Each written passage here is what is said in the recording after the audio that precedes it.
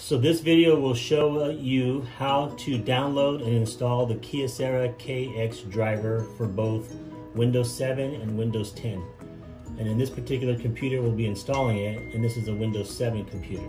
The first thing you want to do is create yourself a folder on your desktop and just call it K Kyocera KX driver and then open up a browser and go to our website compare business.net. So once that opens up, you will see this site. Okay, you can go to customer support and this will take you right here to this download driver. So just click it here. Scroll down a little bit and right here where it says Kyocera driver, click on that.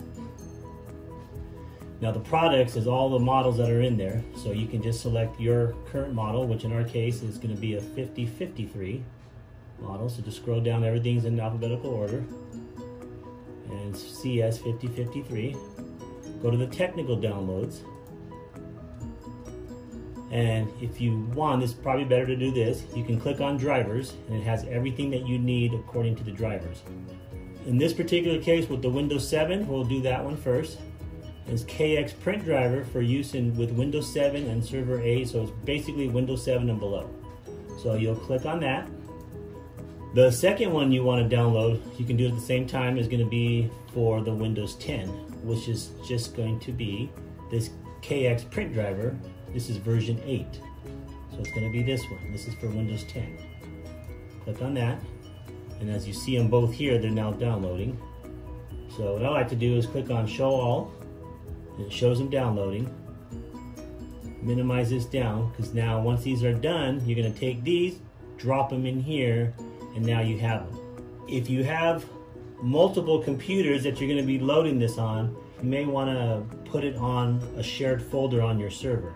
So that way it makes easy access going to every computer and doing it.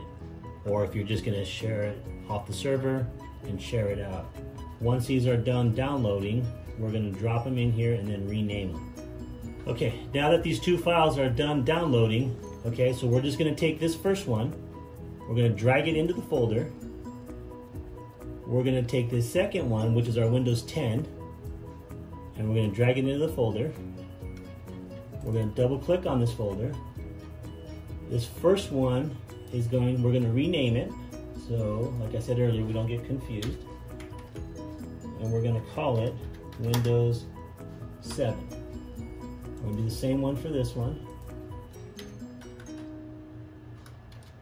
Windows 10. So now if you want, you could just minimize this for now.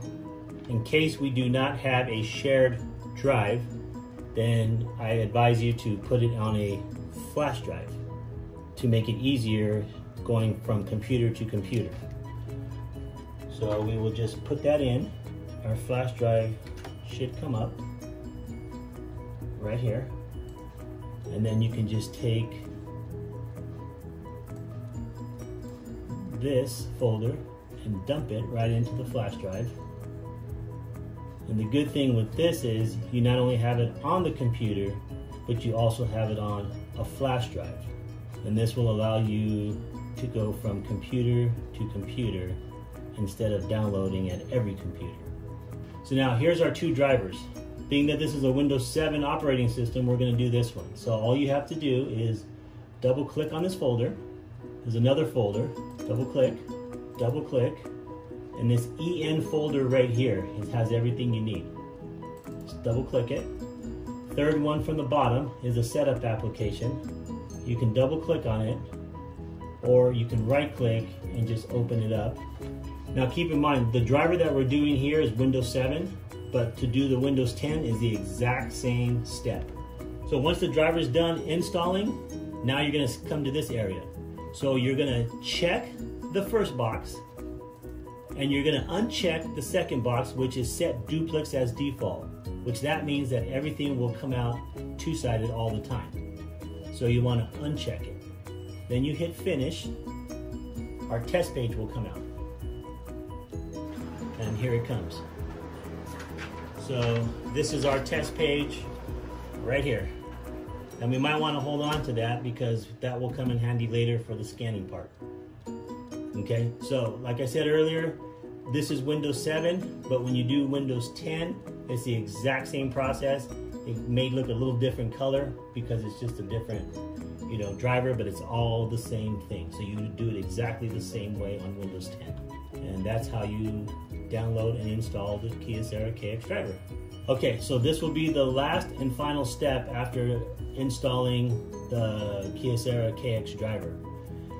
When you have a color machine, you want to make sure that you default it from black from color to black and white. And how you do that is you go into your control panel, go to your devices and printers, and then here's our Kyocera. You just right click, printing preferences, and on the color mode, you just click it on two clicks, takes you to black. If you don't change this, then everything that you print out, even though it's black and white, will click color at the copier and you will, the clicks will go up on the color side. So remember, just click it twice, hit OK, now you're defaulted on black and white. And that's the final step after installing the driver on a color copier or printer.